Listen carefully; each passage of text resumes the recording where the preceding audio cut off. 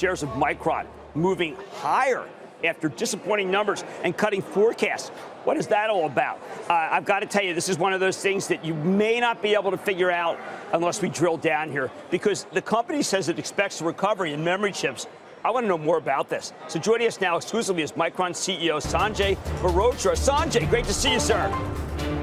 Great to be on the show, Jim. How are you?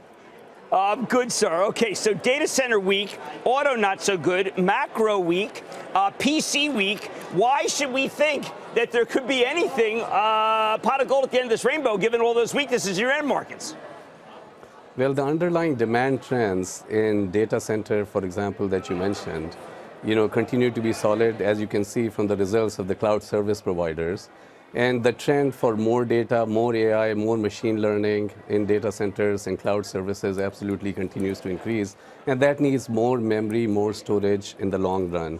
In the first half of this year, you know, certainly the demand from cloud service providers and data center has been impacted because during the course of last year, inventories were built up by those customers given the increasing prices of DRAM. However, those inventories are being worked through the system during the first half of the year, and we expect that during the second half of the calendar year, uh, inventory by its second half of the calendar year, inventory position will be starting to largely normalize and then leading to demand growth in the second half of the year. And similarly, on the smartphone side, some weakness on the high-end smartphone, but the average content of memory and storage in the phones continues to increase. And second half tends to be seasonally stronger from a demand point of view as well. Okay, if that's the case, then why are you cutting, why are you idling production for DRAM? I mean, you are uh, well below, in terms of pricing, your cost of production is still rather dramatically below where uh, you can you can buy DRAMs. So why cut back? Uh, it sounds like a situation where we, we, we want you to go full throttle.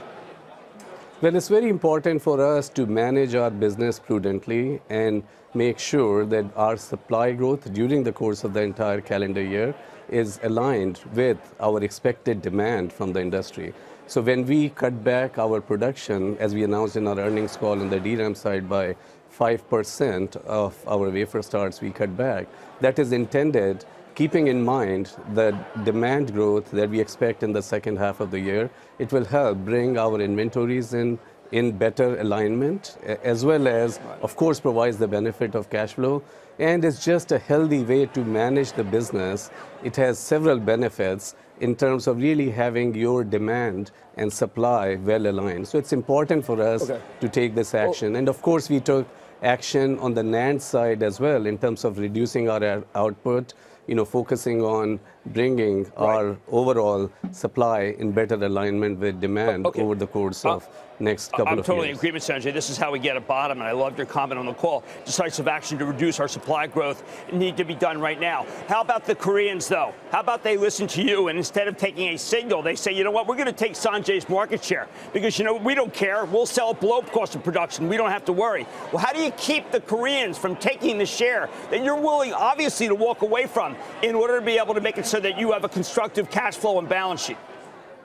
As long as we focus on our supply growth to be in line with demand, we believe with the portfolio of products, with the technology advancements that we are making, the product portfolio that we keep expanding, we will definitely do well in terms of meeting the requirements of our customers and absolutely maintaining our share in the market as well. And our focus is on growing the profitability of the business. You can see that in fiscal Q2 that we reported, even with steep price declines in the industry and significant decline in sequential revenue, we actually reported healthy profitability and cash flows. And that's our focus in terms of really driving the business, uh, controlling you know, the parameters on our side on the business in terms of really keeping demand and supply aligned, as well as absolutely continuing to drive cost reductions and bring innovative products to our customers and bring value to our customers with all the end markets driven by AI, ML, and 5G, in, from smartphone to autos uh, to data centers. We are really extremely well engaged in terms of continuing to maintain and strengthen our business fundamentals. Right, Sanjay, you and I are old hands, and you remember the 80s when it used to be that you would lose money in a downturn. Even the 90s, if you remember that first that first downturn in the uh, beginning of the 90s where you just guys got clobbered. This is a new Micron. Let's change the narrative for a second. Will you please tell people at the trough, which I think we are at, how much money you're making? Uh, Jim, you're absolutely right that this is a new Micron. I have been in this industry for 40 years, and I have uh, never seen a company like Micron better prepared to weather a downturn. You know, we are extremely focused on execution and executing well to our strategy of driving cost competitiveness and high value solutions to address our end market opportunities. And as I mentioned, that results that we just produced in fiscal second quarter showed healthy profitability and cash flow and intense focus at the company in terms of managing our capex as well as our opex for return on investments as well as generation of cash flow capability. And of course, we put that toward uh, healthy share buyback as well, uh, continuing to be committed to at least 50% of our annual free cash flow going towards share buyback. And the guidance we provided for our fiscal third quarter also actually points to operating margins in 20s, and that's very healthy for any business.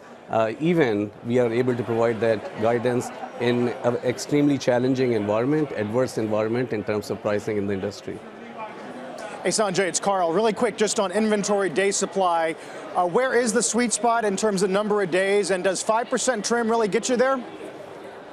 Uh, we do believe that you know 5% cut that we have made will help us bring continue to improve our inventory position throughout the course of the year. And uh, of course it provides aside from the benefits of inventory reduction provides the benefits of uh, cash flow as well as enables us to manage our business overall in a healthy fashion. So our inventories at this point, as we reported yesterday, uh, somewhat inflated. Uh, however, you know, we are taking decisive actions, and this is the new Micron, taking these decisive actions in terms of cutting production when actually the gross margins are healthy and our profitability is at very healthy level. And this is different about the new Micron as well as this is different about the industry in terms of the discipline on focus on profitability.